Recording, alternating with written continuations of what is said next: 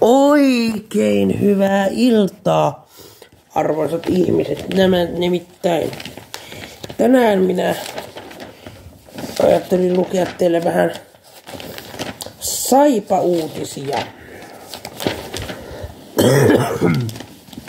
Lappeenrannassa koettiin 10 vuotta sitten älytön saipa-huuma. Etelä-Saimaa palasi maaliskuuhun 2014, jolloin lätkäjoukkuetta kannatettiin lihapiirakoin, hampurilaisiin, pastoihin ja soteihin. Matkalla mitalipeleihin Jypi. Jyp kaatui ikimustoisessa seitsemännessä puoliväliin erässä.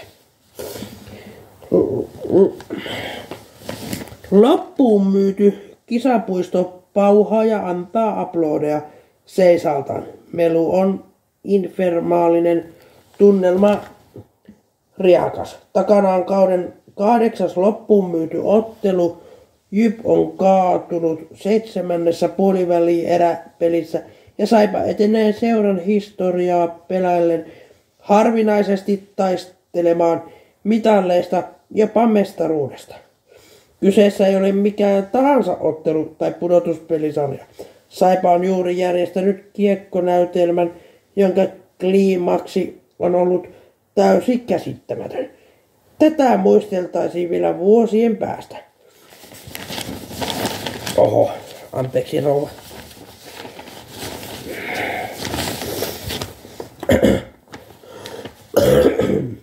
Maanantai 31. maaliskuuta 2014 on Saipan keskushyökkää Ville Hämäläiselle rutiine, rutiineinen pelipäivä. Siinä missä muutkin raastavan sarjan jyppiä vastaan on tosin vaatinut veronsa.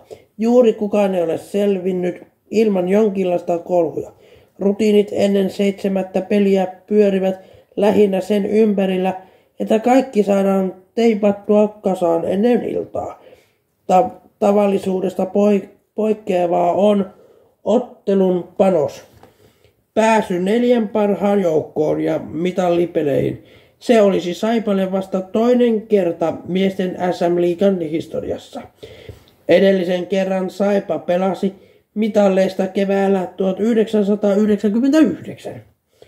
Ainoa mitali on vuodelta 1966, jolloin lopullinen paremmuus ratkaistiin pudotuspelien sijaan sarjaa muotoisesti. Hämäläinen mietti ennen hallille menoa sitä, mihin tänään olisi keskityttävä. Mitä voisi tehdä, että sarja kääntyisi sen huipennuksessa Saipalle. Mieleen on ehtinyt hiipiä jo menettämisen pelko, sillä Lappeenrantalaisilla oli ollut jo kolme mahdollisuutta ottaa ratkaiseva neljäs voitto. Kun Jyp voitti ensimmäisen kerran, häm- Hämäläinen oli ajatellut, että ei tässä vielä mitään hätää. Sitten sarja meni kolmeen kahteen ja lau. Taina Jyp ei ollut Jyväskylässä omaa luokkaansa. Voisiko kaikki lippua loistavan alun jälkeen käsi- käsistä kar- karvaimalla mahdollisella tavalla? Anteeksi, rouva. Yksi selkeä etu Saipalla on ratkaisevaan kamppailuun lähdettäessä koko Lappeenrannan tuki. Kaupunki on ollut jo ennen, jo ennen ratkaisevaa ottelua ennen näkemättömässä pudotuspelihuumassa. Sen ovat huomanneet myös Ville Hämäläinen ja Saipan ruotsalaispuolustaja Pet Savilahti Nakander. Jo runkosarjan aikana Savilahti Nakanderille on tultu juttelemaan esimerkiksi ruokakaupassa ja ravintolassa. Kohtaamiset ovat olleet miellyttäviä, ihmiset ovat olleet onnellisia lopuilta neljänneksi runkosarjassa sijoittaneen joukkueen menestyksessä.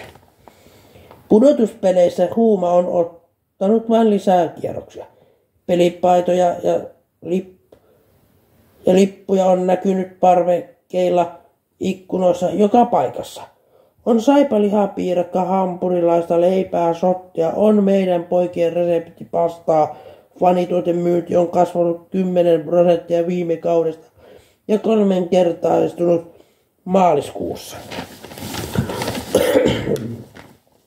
Kun ensimmäiset Biletit tulivat myyntiin pudotuspelien alla maaliskuun puolivälissä esimerkiksi kaukaan ärkioskin ulkopuolella lippujonossa oli ollut kymmeniä ihmisiä. Jokainen kotipeli pudotuspeleissä on ollut loppuun myyty ja runkosarjassakin kisapuisto oli täynnä jo neljä kertaa. Ei tällaista ole Lappeenrannassa aiemmin koettu. Edellisellä kaudella takaisin Saipaan tullut hämäläinen miettii. Seuran omasta kasvatista tuntuu hienolta, että on ollut osaltaan vaikuttamassa tällaisten ilmiön syntyyn. Kun kello lähenee puolta seitsemää, kisapuiston ääriään myöten täynnä. Kuuluttaja pyytää seisova katsomoa tiivistämään, jotta kaikki mahtuvat lehtereille. Yksi hallin ahtautumista on Lauri Kuittinen, jolle keltamustat värit ovat olleet sydämen asia, ala-asteikäisestä asti. Kaverin kanssa ajellessa kisapuistoon Kuittista on jännittänyt enemmän kuin koskaan aiemmin. On ollut vaikea keskittyä muihin asioihin. Myös Ville Hämäläistä jännittää, mutta se on hyvin, hy, hyväkin asia. Hän käy kurkkaamassa pukukopin ovelta, mikä hallis, miltä hallissa näyttää. Aina joku joukkueesta on tehnyt niin ennen peliä. Tällä kaudella siellä on muutenkin häkki täynnä hämäläinen toteaa. Pelin alkuun on viisi minuuttia. Jos joku ulkopuolinen tulisi nyt koppiin, voisi ihmetys ollut suuri. Mihin tämä ryhmä oikein menee? Menossa. Jälki, jäkittäminen loistaa poissaolollaan ja tunnelma on rennon letkä. Tietyt biisit pumppaavat tunnelmaa ja joukkueen laulaessa mukana. Saipa tapaa valmistautua otteluihin voisi kuvata jopa hulabalootsi.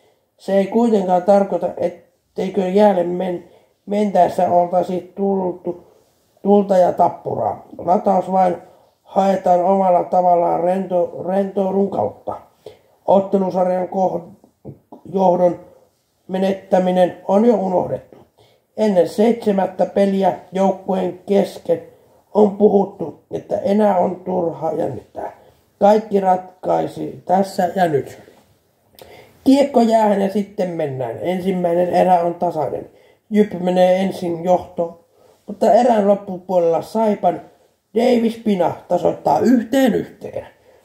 Toisen erän alussa kisapuisto hiljenee. Ensin Jyp Max Väärät lataa ylivoimalla 2-1 ja kahden minuutin päästä Petter Hudbeck lisää johtoa kahteen maaliin. Toista kauttaan Saipassa valmentaa Pekka Tirkkonen ottaa aikalisän. Ottelu tuntuu olevan kuin koko sarja pienoiskoossa. Saipa on ollut taas hyvin mukana, mutta Jyp on karkaamassa voittoon. Näinkö tässä nyt käy? Ville Hämäläinen miettii. Yleisönkin hurmos vaikuttaa vaihtuneen mietteliäisyyteen. Saipan loistelias kausi on vie, veitsin terällä. Runkosarjan neljäs ja yleisöä 19 kotipelissä on yli 14, 4000.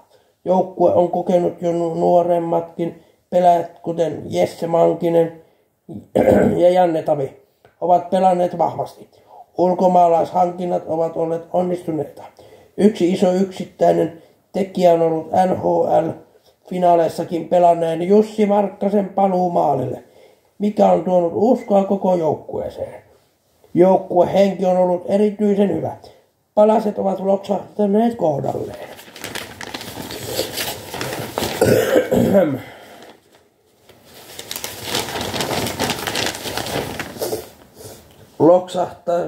loksahtaisivatko ne paikalle vielä kerran? Ehkä Saipan taivas on tummunut historian saatossa tarpeeksi monta kertaa, sillä aikalisän jälkeen toisen erän Lopussa se rupeaa avautumaan sittenkin jostain ikimuistoisesta eniten. Pelikello näyttää 35-43. Jesse Mankinen heittää löysän ranne laukauksen maalia kohti 3-2. 36-10 Saipa hyökkää vasemman laidan kautta ja Tommi Jokinen tiputtaa kiekot Ville Hämäläiselle. Hämäläinen päästää lau- laukua, vaikkei ole kiekon edes menevän maaliin. Keskushyökkäjän lavasta lähtee ryö, röpelöinen Ilmari, joka pomppii Jypi maalivallin Samira ja nimen kiilvestä yläilmoihin. Aito kisapuistossa pysähtyy, kiekko pyörii yläilmoissa. Lopulta se osuu taaksepäin peruuttavan Rajaniemen luistimen ja pomppaa maaliin 3-3.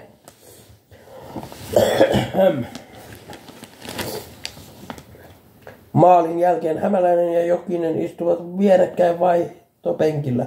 A. Aalto kulkee yleisössä ympäri kisapuistoa. Kaksikko katsoo ympärilleen ihmeessä. Mitä ihmettä täällä tapahtuu? Onko tämä todellista? 38-10. Petsa Villasti Nakander tekee Saipalle kolmannen maalin alle kahteen ja puoleen minuuttiin. Neljä kolme. Hullaantuneen yleisön seassa Lauri Kuittinen tuijottaa jäälle. Koko peli on mennyt jonkinlaisessa sumussa. Tarkkoja muistikuvia tuostakin jäisi jälkeenpäin. Kuittisen kaveri tarttuu häntä riveleistä ravistellessaan toista saman ihmetyksen kuin Hämäläinen ja Jokinen vaihtopenkillä. Tajuatko, mitä täällä tapahtuu?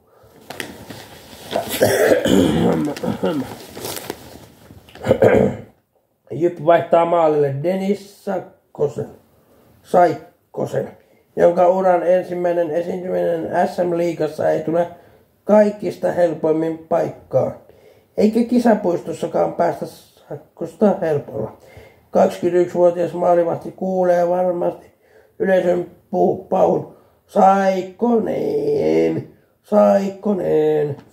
Ennen kolmannen erään puoliväliä Jyväskyläläiset tasoittavat neljään neljään. Jännemmäs, jännemmäksi pudotuspelit sarja ja yksittäisten kiekkoottelu kutuskin voi mennä. Ilta on kuitenkin Saipani järjestää faneilleen yhden seurahistorian mielenpainovimmista kliima, kliimakseista. Kaksi minuuttia ennen varsinaisen peliajan loppua Savilahti Nagander saa kiekon siniviivalla. Hän näkee, että maalin edessä on ruuhkaa. Anna palaa! Kiekko sujahtaa ruuhkan läpi verkkoon. Saipa johtaa 5-4. Unelma on herätetty taas henkiin. Myös hallin DJ tajuaa sen, sillä yleisön mylvintään sekoittanut Matthew Screen kappale Kitchers My Heart potkaise sydän käyntiin uudelleen. Peet Savilainen tietää, että Saipa ei enää häviäisi. Koko kautta on leimannut se, että viime minuuteilla johtoasemassa joukkue ei ole hehmoillut. Puolustus on pitänyt. Ville Hämäläinen on joukkuekavereita varovaisempi. Mitä vain voit vielä tapahtua, varakapteeni ajattelee. Ville Kohon omalta alueelta tyhjää maalin heittämä pulkkukikko ja 6-4. Reilut minuuttia ennen loppua helpottaa vähän. Silti hämäläinen uskaltaa juhlia mielellään vasta muutama sekunti ennen loppua. Summeri soi, saipa voittaa. Yleisössä vain huudetaan täyttä kurkkua, sanoja on vaikea löytää. Vieruskaverit halailevat toisiaan. Joillakin tunne purkautuu varmasti onnen kyyneliin. Jäällä Ville Hämäläinen silmissä sumenee. Hän on huutanut niin kovaa, että happi loppuu ja taju meinaa lähteä. 32-vuotias hyökkäjä on voittanut urallaan mitalleja ja mestaruuksia. Nyt ei ole voitettu mitään, mutta hetki on silti ainutlaatuinen. Koko kauden tarinan ja tämän sarjan dra- draaman kaari. Ei tällaista ole aiemmin kokenut, hämäläinen miettii. Peet Nakander on täytynyt puhdas ilo. Erityistä iloa hän tuntee juuri hän Ville Hämäläistä muita kokeneita pelaajia kohtaan, jotka ovat kantaneet keltamustaa värejä niin kauan. Myöhemmin Saipan pelaa pronssimitalista Rauman lukkoa vastaan. Lukon Ville Vahalahti hiljentää bussi, bussilastilliset keltamustia faneja reilut neljä minuuttia ennen varsinaisen peliajan loppua.